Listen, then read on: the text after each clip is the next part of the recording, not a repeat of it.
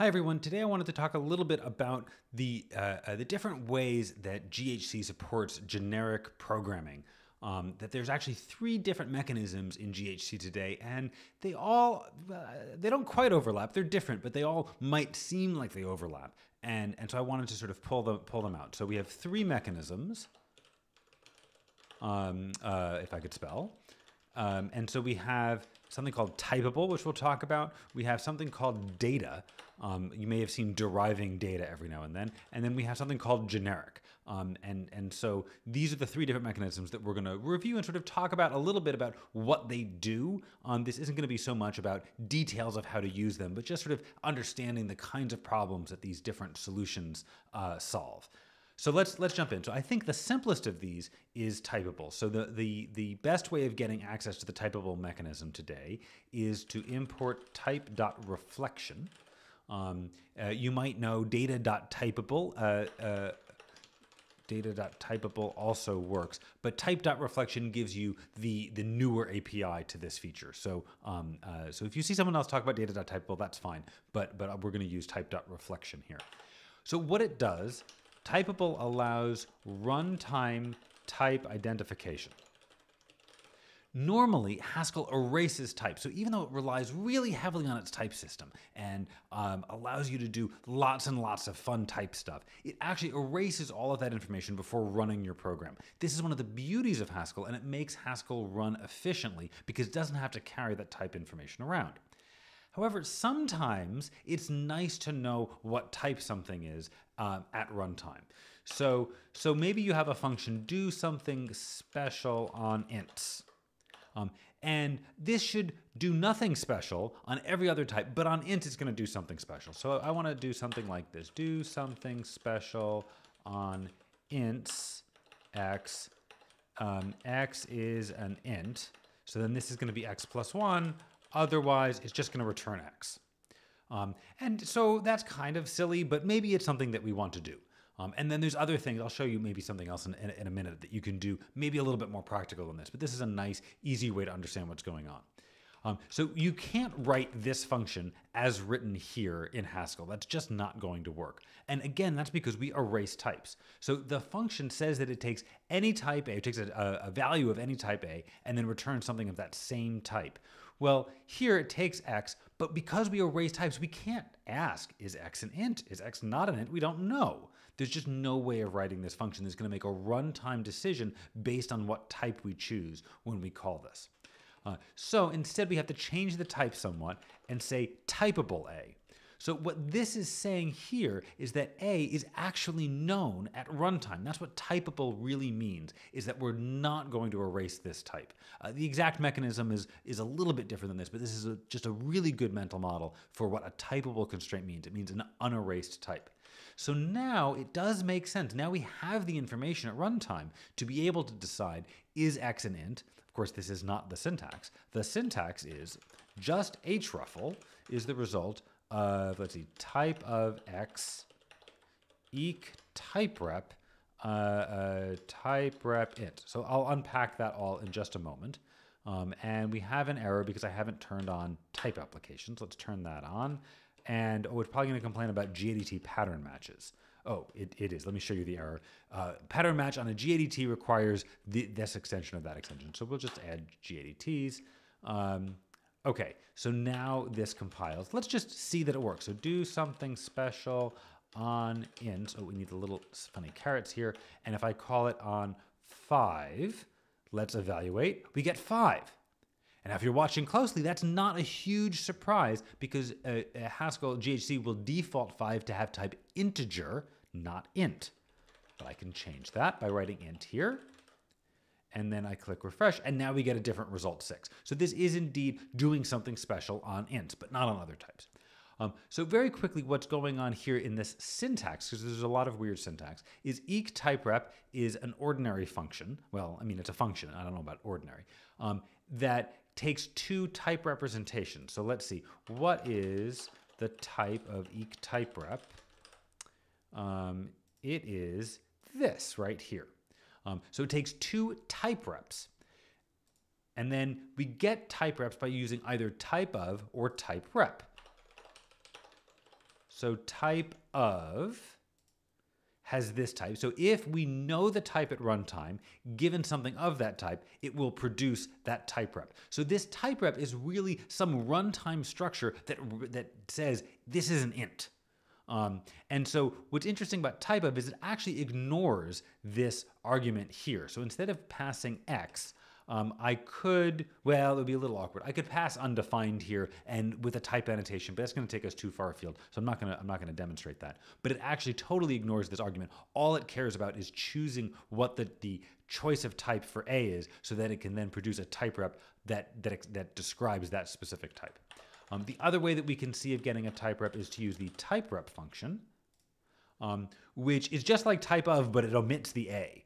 Um, and so here, because this result, this type rep A, this could really be any A, there's nothing to fix it, I need to use this at notation to explicitly pass in the type int to say that I want the type rep for int to compare against type of. So that's these two type rep arguments. The result of each type rep is maybe a proof that A equals B. This funny thing here is sort of a, an equality proof. Um, so it returns maybe because maybe they don't equal. Um, but if they do equal, we're going to get an equality proof, and we can pattern match on that equality proof by using uh, uh, by, by, using a pattern match against HRefl. Um, can I get? Yes, I can actually. If I do this, I think if that parses, yes, we get wow, lots of information. I don't want all that information. Uh, let's kill off all of this extra stuff down here. Um, and we don't really care about roles right now. I want I want simplicity. This is a data type that has one constructor, and that one constructor asserts that the two types passed in are the same. I'm going to rewrite this here to be a little bit more idiomatic. Um, and in fact, I can get rid of this extra for all here, and then we can really see that HRefl is just a proof that a equals a. So that means that up here, when I pattern match on it, I learn that the type of x is indeed int, and then doing this makes sense that that type checks over here because now I know x is int. Otherwise, all I can really do is return x. Um, so this is what a, a type.reflection does.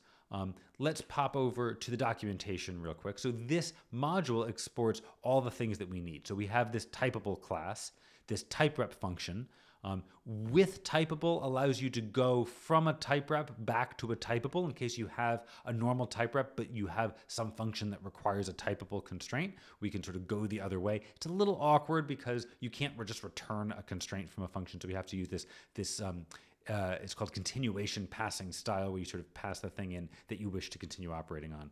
Um, then there's the definition for um, homogeneous propositional equality and heterogeneous propositional equality. I don't want to get too much into details about that more than I've already done. Um, and then here's the type rep type, as well as a bunch of other operations that we can do on them, including things like pattern matching. Um, so uh, again, useful if you want to know what type something has at runtime. That's what typeable does for you. The next is data. So this comes from not type.reflection, but import data.data. .data. Um, and what data does is it allows you not only to, to well, uh, typeable is a superclass of data, but what data really does is allows you to know the structure of a type at runtime. Um, so let's do a quick example of that. So suppose I have a data type warble, and warble has an int and a bool and an int and a double say. Um, and I'm going to derive show and data. Um, here, uh, oh, I'm expecting an error. Oh, I'm getting, why am I getting errors up here? Now strange things are happening. What's going on here? Oh, um, that's because, aha, data.data .data also exports some of the old uh, interface to typeable, which now conflicts. So I really only want data from data.data. .data and that's going to fix some of these problems hopefully, and I should be getting an error. Yes, I get an error right here. Um, so the error is that, uh, let's see here. The error is that, well, I need to derive data typeable in order to do this. That's fine. I can do that, no problem. Um, it's a little bit confusing, more than a little bit confusing. The name of the extension here is derive, whoops, derive data typeable. Typeable is automatically derived for all types. We don't need to write it. Once upon a time we did, so you might see some old code with that, uh, but it hasn't been true for some years now. Um, to derive data instance, we still do need to say deriving, and the name of the extension is derive data typeable because that's what it was. And creating a new extension and deprecating the old one and breaking everyone's code. It's just not all worth it. So we have it derived data type, even though it's really just about data. Um, and now that I've done this, what I can do is I can, let's say, write a function add one. Um, so add one uh, takes a, a, something of any type A to, to that same type, as long as I know uh, what its representation is. So this data A constraint doesn't just tell me that I know the type, but I actually know the details of the type. Right? The difference is, do I just know that it's Werble? That would be typeable. Or do I know that it's Werble and in fact that Werble has a constructor MkW that takes these arguments, right? That's data. Data tells us about the right-hand side, not just the left-hand side. Um, and so this add one function, I'm gonna use, I'm gonna write this out and then I'll explain what it does.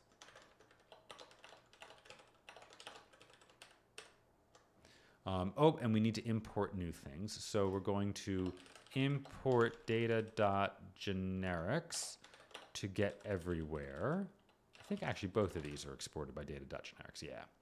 Um, okay, and let me show you what it does, and then I will explain. So if I call add one on MkW of two, true, three, eight, um, we will see that the ints are changed. Three and four come out instead of two and three, but the eight is not because that's not an int, that's a double. Um, and so now let's look at, at a little bit more of what's going on here. So we can do that by looking at what is the type of everywhere. So everywhere has this very interesting type here. And the idea is that it takes some generic transformer, and I say it's a generic transformer because it takes some type and returns something of that same type. And I say it's generic because it can it, it knows the representation here. Um, it takes something and then it returns a generic transformer that works well everywhere. And so that means that what this will actually do is that this will look inside of other types for MkWs. Um, so I can do another example up here. I can say add one of MkW2 true 3 8 and MkW of 10 false 1542. And because of the everywhere, it will look inside the list and to find the ints buried in the Werbles inside the list. Right? Without the everywhere, it wouldn't do that. Um, mkT, let's take a look at mkT. Um, mkT says that um, here, if I describe some uh, transformation on a specific type B, then it will create a transformation that does something interesting on B, but but then everything that's not B, it just leaves alone. So actually, I could have, now that I'm looking at mkT here, I could have written my do something special on ints in terms of mkT. Um, and in fact, in, in some sense, that's what I've done here. This mkT of plus one is actually, I think, completely equivalent to do something special on ints. Um, I would love to sort of have at my fingertips a quick check property to prove that, but I'm not going to get us too distracted by doing that. But I'm pretty sure that they would do exactly the same thing. Um, so using thing, using combinators like everywhere and mkT, we can build up generic transformations. So if we want to take all of the ints and do something, then we can. And it, it, doesn't have to just be transformations. It can be queries. We might accumulate the results in a monad, um, all of these things. So this is really nice because it means I don't have to write a custom operation over MkW, but I can have all of my data types and then use type information to sort of figure out what kind of transformations I want to do. And that's really useful with the data mechanism. Um, so the data mechanism, as it's exported from data.data, .data, that's where we get this deriving data thing. But many of the operations that we might want to do actually come from a separate library called SYB for scrap your boilerplate.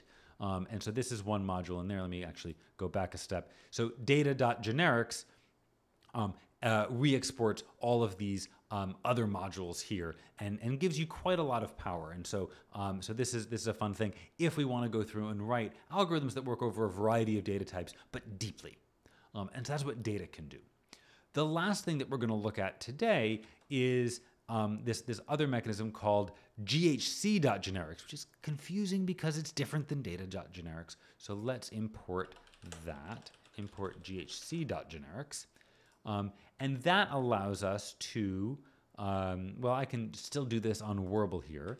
Um, oh no, let me not do that. Let me make a new type. I'll call it record, mcr, and then let's say field is an int and other field is a bool.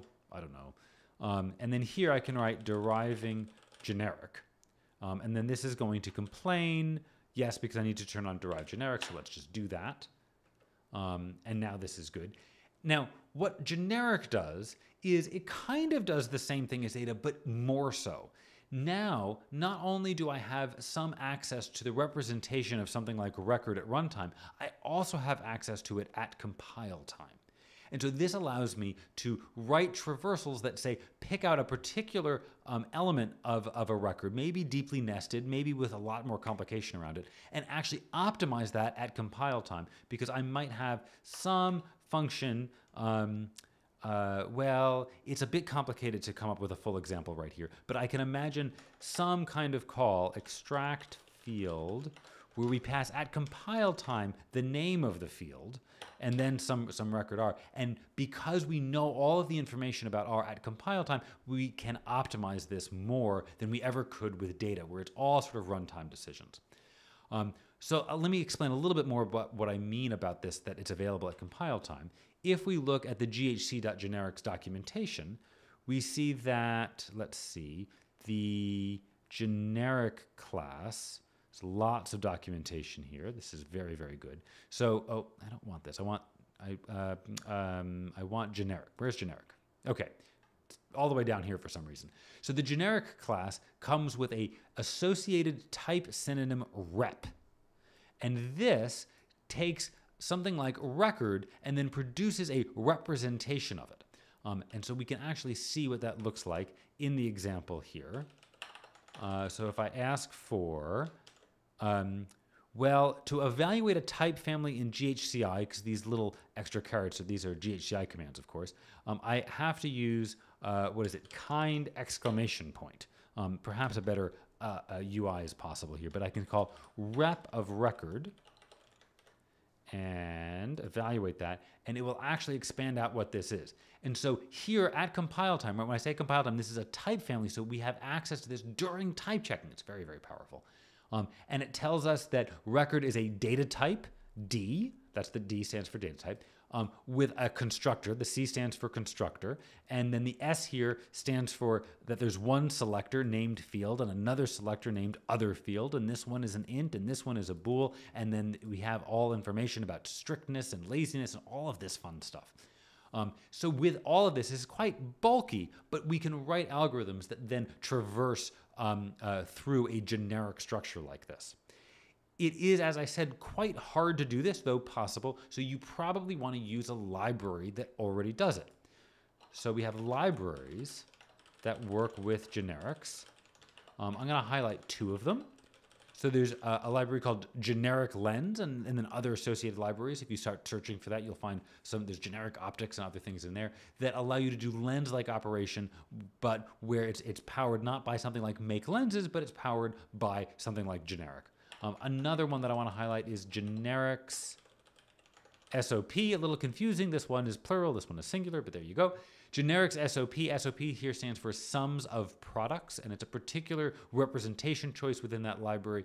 Um, and it also allows you to do these generic operations with, with some ease. Um, so I'm not going to have a full demonstration of all of that in this video, uh, but I, I, do encourage you to sort of look at those libraries. They're fairly well documented and, and, and with, with some nice examples there. And it allows you to sort of really use a lot more power from this generic mechanism that GHC gives you. Um, so recapping, right, we have these three different mechanisms, typeable, data, and generic. Typeable is great when all you need to know is what is the type of this thing? Ah, keeps happening. What is the type of this thing? Um, data is, is great when you want to be able to make decisions at runtime, not only on what is the type of this thing, but how was it defined? And generic is when you want to make decisions at compile time based on how something was defined. Um, so, so it depending on, on how much you want. And different libraries will use these. And so you'll often have to say deriving uh, data or generic. Again, typeable comes for free. Anyway, I hope this has been interesting and informative. Thanks very much for watching. Bye.